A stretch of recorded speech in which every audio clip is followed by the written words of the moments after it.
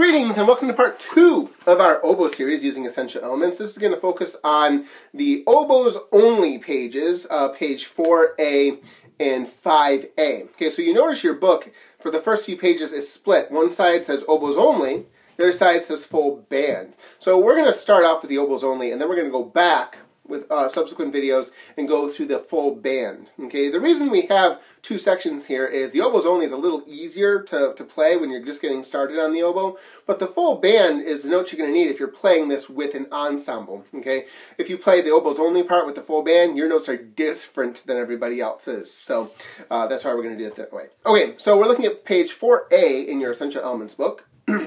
very talk, uh, top it talks about the long tone. So exactly that. You play a long tone, then you stop. So number one is called the first note, note C. Okay, so you notice in the orange box you have a C. That's what it's called. We know it's a C, not just because it says C in the note uh, in the note head, but because of your your staff, right? You ever learn the space face? F A C E. So the, in between the lines on the musical staff is F A C E. Spells face F A C E. Space face. You also have the lines. Every good boy deserves fudge. Every good boy does fine. Empty garbage before dad freaks. Every girl break dances Friday. E G B D F. Elephants get bad diarrhea frequently. Could use that too. Okay, to remember, you know, same as recorder. Um, so since C is on the third space, F-A-C. Okay, notes that are on the lines will have a line running through it, which we'll see soon. Notice that next to the C you have a picture of the oboe. These are the keys you're going to use. And the first, uh, if a hole is blackened in, it means you press it. If it is white, it means you don't press it. So for C, you're going to take your left hand and you're going to put it on this key right here. All right, use your full finger there, and then you're going to put on your lower hand. You see there's a little bar on that picture? That's this thing right here. Okay, the joint of the two uh, pieces. You're going to put your other, your first finger right here. Okay? All righty. it's going to sound like this.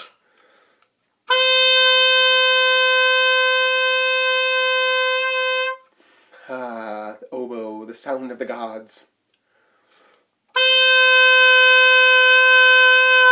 Or a dying duck. Uh, so that's a C. Two fingers right there. So number one, we're going to play a long C. Rest for a second. Play another long C. We're going to play the reed just like we did the crow in the, the last episode. Again, you're going to put it, put your lips together like you're whistling. But roll your lips in a little bit more so they're covering your teeth. Make a nice cushion for that reed. That tip. Mmm. We don't want to go all the way in like this.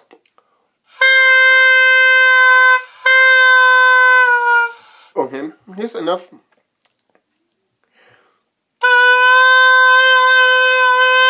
Also, when you're playing the oboe, you want to have it out a little bit. We don't want to go like this, like a clarinet. Clarinets are, are more downward. You guys are more, really almost like following the line of your nose. All right, here's number one. To play an, uh, a C, then we're going to rest, we're going to play another C. Ready, go. Now another one.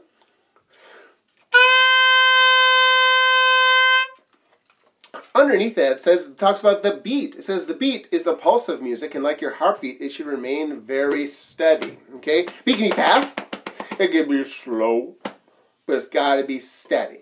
Okay.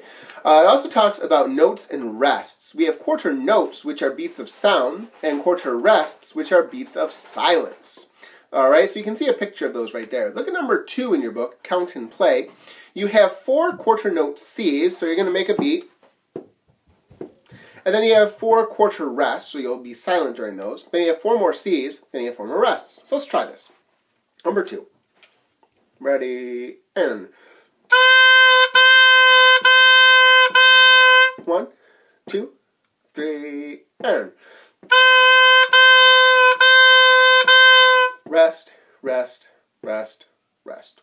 Number three, a new note is note B flat. That little symbol next to the B in the orange box, that little b, is actually a flat symbol. Notes can be sharp, flat, or natural. This one's flat.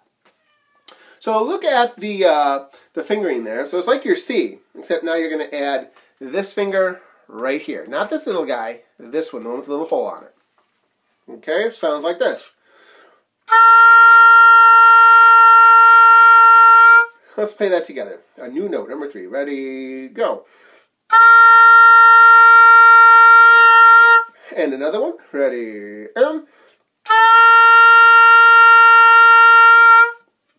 Number four is Two's a Team. You have four quarter note B flats, four rests, and then four Cs.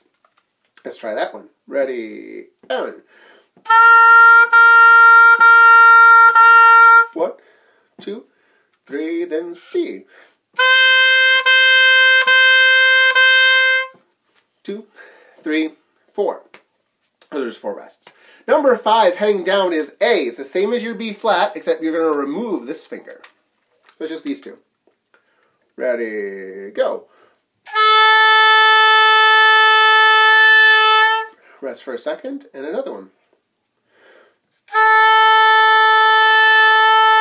If you find the notes aren't coming out, it could be a couple things. Maybe you're playing the wrong keys, or maybe you're accidentally pressing this side key, or the thumb key, or this side key, or any other number of side keys. Okay, so be careful that you're only pressing the, the notes that you want. Notice how this hand, my fingers are angled upward. Okay, notice that this hand, again, be nice, rounded, curved fingers. Mm. Okay, because you're going to be, I like to think of oboe as spider fingers. You need nice long fingers like a spider. I guess those are legs. Notice that A is on the second space, which is why it's an A. Notice that the B flat in number three is on the third line. Every good boy does fine, which is why that's an uh, B. Uh, number six, moving on up, we start off with five A's. Then we rest for three beats, two more A's, and then two B flats, and then a C.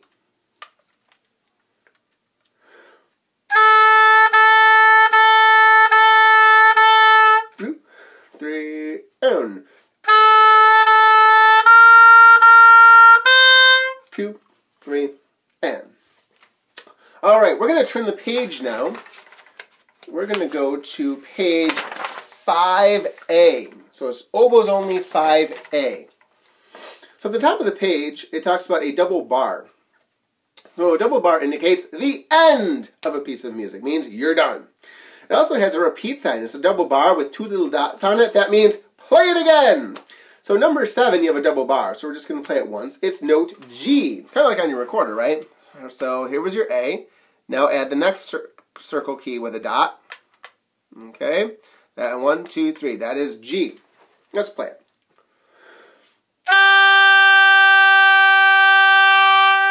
And then another one.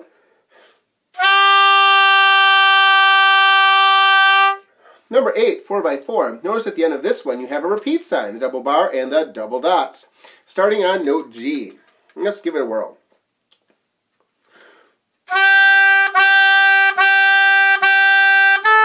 Two, three, and. Rest, rest, repeat. Rest, rest, rest. Rest,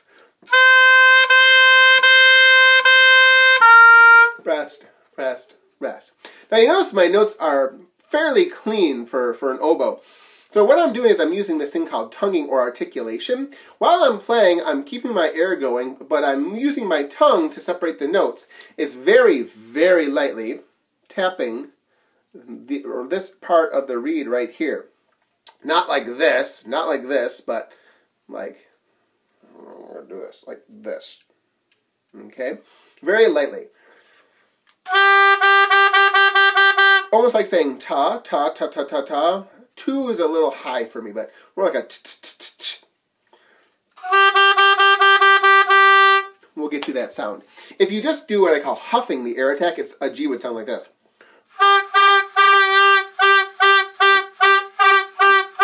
But it looks like a fish. Okay, um, so that tonguing keeps the air moving, gives you a much better tone.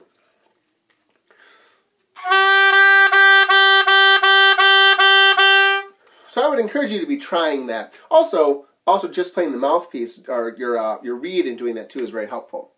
Number nine is touchdown. That's an F. All right, so let's go through this. So your G was this one, two, three. F, you're going to add that first circle key that we used for C, uh, and then you're going to add the next circle with the dot key, and then you're going to add the hot dog key. So circle, circle, hot dog. Yummy.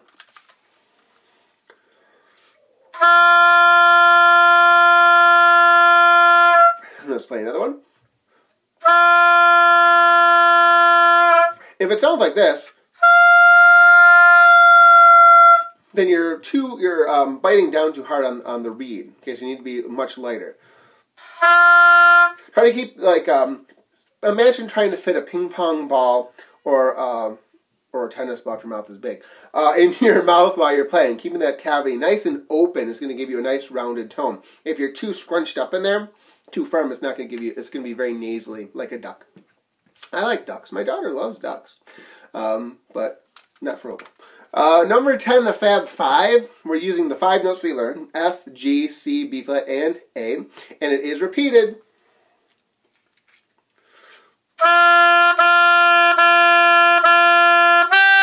Rest, rest, rest.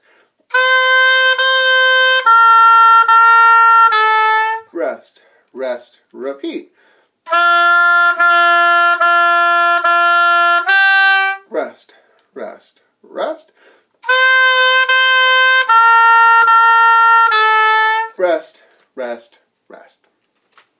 Underneath is another orange box. It talks about a treble clef. So the treble clef indicates the notes on the staff. The reason why every good boy does fine and the space face works for notes for you is because you have a treble clef. If you played tuba or trombone or baritone, it wouldn't work. They have something else called a bass clef. Totally different notes. You also have what's called a time signature. It says it indicates how many beats per measure. What is a measure? A box of music. Notice number 10, if you go back to the Fab 5, you have four things in every box, right? It'd be F, F, F, F is in a box. Then G, rest, rest, rest is in a box. C, C, B flat, B flat is in a box. A, rest, rest, rest, rest is a box. Okay, those are measures. Helps us organize music in a certain number of beats. For for time, we always look at the top number. Don't worry about the bottom number right now. The top number tells you how many beats are in every box of music. So in this case, uh, there's going to be four. Okay, if that number, if it was 3 over 4, there would be 3 beats in every measure. Okay, but for now, you're just in 4. Don't worry about it. Anything else. You don't even have a time signature until a couple belts away. Um, you also have, it talks about the sharp, flat, natural, which we, we touched on briefly. Uh, so it says uh, sharp, basically what you need to know about the sharp, flat, natural is that it changes the note. Okay, so you may have an E, you may have, which is an E natural, you may have an E flat, you may have an E sharp. Okay, so an E or an E natural is right in the middle. Sharp makes it a little higher.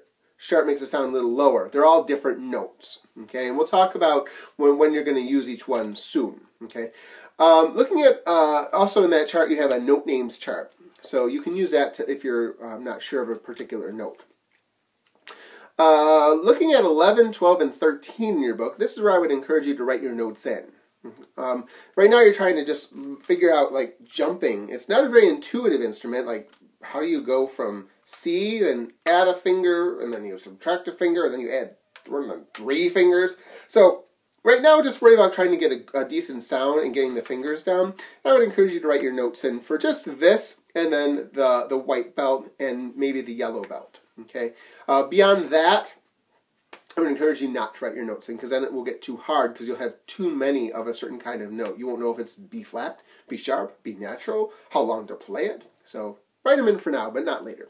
So I would encourage you 11, 12, 13, write those in now if you haven't already, and then I'm going to go through them for you as well. So if you want to, pause, and I'm back.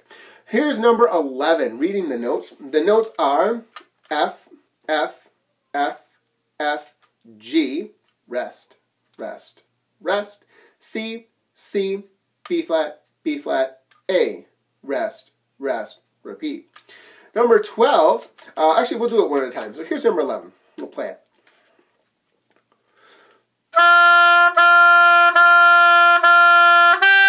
Rest, rest, rest. Rest, rest, repeat. Rest, rest, rest. Rest, rest, rest. Number 12, the notes are A, A, G, G, F, F, F. Rest. C, C, B flat, B flat, A, G, F. Repeat. Here's number 12.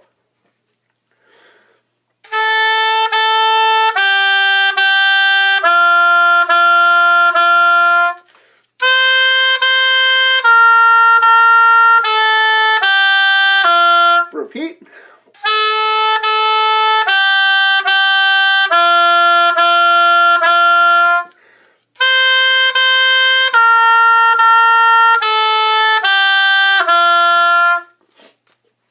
Number 13, the Essential Elements Quiz. They gave you the first three notes, F, G, A, B-flat, C, C, C, rest, A, B-flat, A, G, F, A, F.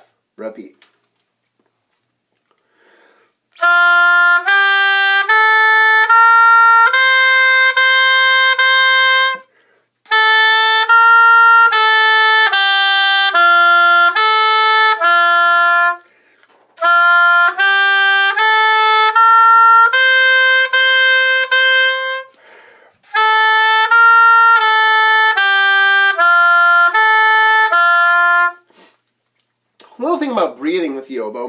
I personally find you want to take those nice breaths, but sometimes you may find you have too much air because that's a lot of air to get through this little space.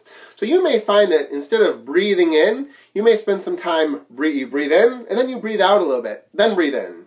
Um, so breathe as you need to. If you have too much air, breathe out, use up some more, and then breathe in. Uh, and we'll talk more about that in subsequent videos, I'm sure. All right, so that is our introduction um, to playing the oboe. The next video is going to start focusing on the white belt for band karate. We'll see you next time.